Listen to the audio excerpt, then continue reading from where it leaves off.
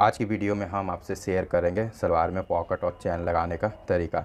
तो सबसे पहले आप पॉकेट की लंबाई चौड़ाई समझे कि पॉकेट की लंबाई चौड़ाई हमने कितनी कटिंग की है। तो लंबाई हमने यहाँ पर इसकी कटिंग की है पंद्रह इंची और इसकी चौड़ाई हमने कटिंग की है साढ़े छः इंची। अब हम इसी में ही पॉकेट का मार्क लगाएँगे। तो ऊपर से हमने सवा इंची में मार्क लगाना है इस तरीके से और हम इसे सीधा खींचेंगे। तो ये मार्क की लंबाई आपको रखनी है पाँच इंची। तो यहाँ तक हम ये मार्क को खींच कर लेकर आएँगे। बस इसी से हटकर हमें दो पॉइंट का एक मार्क और लगाना है। यहाँ पर हमने पॉकेट का जो मुँह खोलना है, वो खोलना है पाँच इंची। तो पाँच इंच में यहाँ पर मार्क लगाना है। तो इस तरीके से हमने स्क्वायर टैप का दोनों तरफ़ मार्क लगा दिया है। अब हम पॉकेट को बनाकर दिखाते हैं। तो ये होगी हमारी सलवार, जिसमें हमें पॉकेट को बनाना है। तो यहाँ पर हमारा नेफा खुला है। तो यहाँ पर देखिए दोस्तों, हमारा नेफा खुला है। तो इस नेफे से हमने छः इंची में मार्क लगाना है। तो यहाँ पर हमने छः इंची में मार्क लगाना है और ऊपर से हम नेफे से तीन इंची में पॉकेट को नीचे की तरफ़ लगाएँगे। तो यहाँ पर हमने प्लस का मार्क लगा लेना है। अब हम पॉकेट को लेंगे, जिसमें हमने मार्क लगाया है, उसे हमने इस प्लस के पास में इस तरीके से बैठाना है। और यहाँ पर हमने जिस तरीके से हमारा ये मार्क लगा है, इसी शेप में हमने सिलाई देनी है।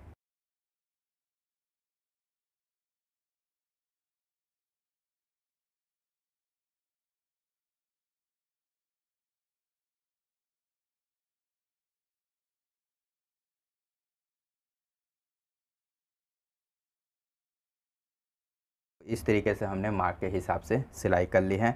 अब हम इसकी कटिंग करेंगे। तो ये कटिंग हमने किस तरीके से करनी है, यहाँ से हम सीधी कटिंग इस तरीके से करेंगे और कोने में लाकर हमने कटिंग को इस तरीके से भी सेप देनी है। तो यहाँ पर देख रहे होंगे दोस्तों, इस तरीके से हमें भी सेप देनी है। तो दोनों तरफ़ हमने इस तरीके से भी सेप में कट करना है और यहाँ से हमने बीस से इसे कट करना है। तो दोस्तों, यहाँ पर आप देख रहे होंगे कि कटिंग हमने इस तरीके से कर ली है। तो दोनों तरफ़ हमने भी सेप में कट की है। अब हम इसे अंदर की तरफ़ पलटेंगे।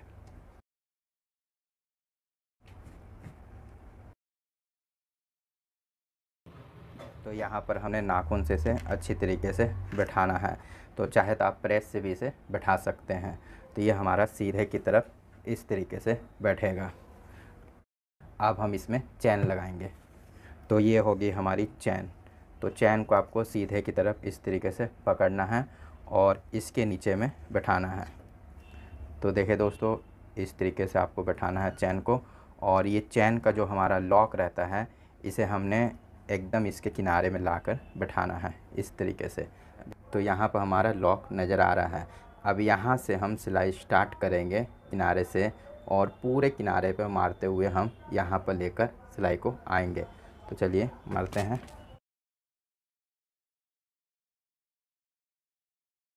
तो यहाँ पर सिलाई को आप हल्का सा बाँध दें। चैन को आपको बंद ही रखना है। इसे आपको इस तरीके से खोल कर नहीं लगाना है। इस तरीके से अगर खोल कर लगाएँगे तो आपको काफ़ी परेशानी आएगी। तो इस तरीके से हमें बंद ही रखना है चैन को अभी। इससे क्या होता है कि हमारा जो मशीन का चाप रहता है, वो बहुत ही अच्छी तरीके से चैन के ऊपर में चलता है। चैन को फिनिशिंग से लगाने के लिए हमें ये सिलाई एकदम टॉप में देनी है।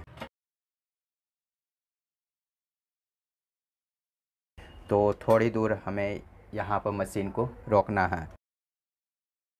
जो भी हमारा लॉक है, इसे हम अंदर की तरफ़ करेंगे। तो दोस्तों, यहाँ पर हमारा लॉक है, इसे हमने अंदर की तरफ़ इस तरीके से कर लेना है और उसके बाद में हम इसमें सिलाई देंगे।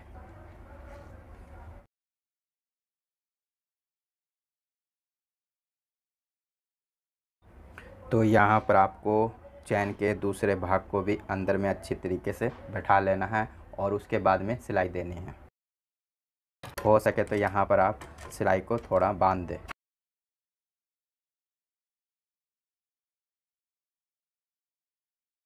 थोड़ी दूर सिलाई देने के बाद में लॉक को हम ऊपर की तरफ़ खींचेंगे। तो दोनों चैनें आपस में मिलने से हमारी मशीन सही तरीके से चलती है। अब हम इसमें सिलाई देंगे।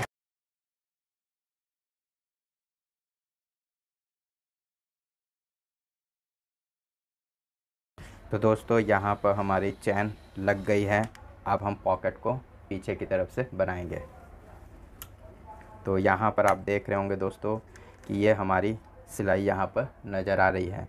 तो इसे आपको हाफ़ इंची बढ़ाकर चैन की कटिंग करनी है और इधर की चैन हमारी पहले से सही सेटिंग है, यानी कि हाफ़ इंची हमारी कपड़े के अंदर में ही है। तो यहाँ पर हम आसानी से कपड़े को इस तरीके से फोल्ड कर सकते हैं। तो इधर भी हमें हाफ़ इंची चैन की कटिंग करनी है। तो इस तरीके से हमने यहाँ पर इसकी कटिंग कर ली है। अब हम पॉकेट को यहाँ पर मिलाएँगे। तो ये हमारी लंबाई में है तो इसे हमने इस तरीके से मिलाना है और यहाँ पर नाखून से इसे बैठाएँगे। और देखिए दोस्तों, किस तरीके से हम पॉकेट को ले रहे हैं। आप देखें अच्छी तरीके से। तो इस तरीके से हमने इसे सामने की तरफ़ इस तरीके से रखना है। और यहाँ पर देखें दोस्तों, ये पॉकेट हमारी इस तरीके से मिल रही है। अब हमें क्या करना है कि इस पार्ट्स को हम इस तरीके से फोल्ड करेंगे। तो इस तरीके से हमने इसे फोल्ड करना है। इससे क्या होगा कि पॉकेट बनाने में आपको काफ़ी सुविधा मिलेगी। अब हमने इस पार्ट्स को इस तरीके से फोल्ड करना है और नाखून से बैठाना है। इसी तरीके से हमने दूसरे पार्ट को भी फोल्ड करना है और यहाँ पर भी नाखून से इसे बैठा दें। अब यहाँ से मिडिल से हम सिलाई स्टार्ट करेंगे। थोड़ी दूर आगे बढ़कर हम इसके नीचे के पल्ले को पकड़ेंगे, पॉकेट के, और इसे भी फोल्ड करेंगे हाफ़ इंची का। इसी तरीके से हमने ऊपर के पल्ले को भी हाफ़ इंची का फोल्ड करना है। तो फिर से आप देख ले दोस्तों, इस तरीके से हमने यहाँ पर नीचे की तरफ़ फोल्ड किया है। फिर हम हाफ़ इंची ऊपर के पल्ले को इस तरीके से फोल्ड करेंगे और इसमें सिलाई देंगे। इसी तरीके से हमने पूरे पॉकेट में सिलाई देनी है।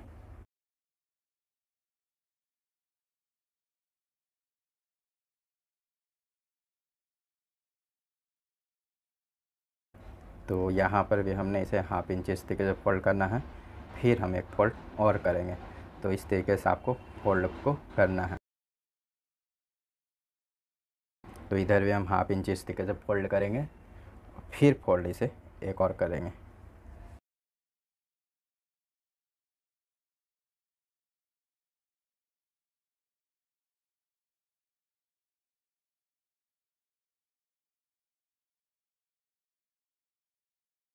तो देखिए दोस्तों, ये हमारी पॉकेट की सिलाई इस तरीके से हो गई है। अब हम सामने की तरफ़ आपको दिखाते हैं कि ये सिलाई हमारी किस तरीके से हुई है। तो दोस्तों, इस तरीके से हमने यहाँ पर सिलाई दे दी है और यहाँ पर हमारी ये पॉकेट बन गई है। अब इसके ऊपर हम एक सिलाई और देंगे, क्योंकि हमारी यहाँ पर खाली रह जाता है हिस्सा, जिसे हमें दबाने के लिए यहाँ पर सिलाई देनी पड़ेगी। तो यहाँ पर हम सिलाई किस तरीके से देंगे? तो पहले लॉक को हमने इधर की तरफ़ रखना है। और यहाँ से हम सिलाई स्टार्ट करेंगे और चैन में देंगे। यहाँ सिलाई को बाँध दें। लॉक को ऊपर की तरफ़ लेकर जाएँ।